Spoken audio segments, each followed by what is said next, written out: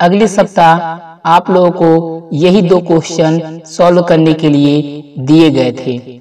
जिन छात्रों ने सॉल्व करके हमारे व्हाट्सएप पर अपना नाम फ़ोटो और क्वेश्चन का पूरा सलूशन भेजा था।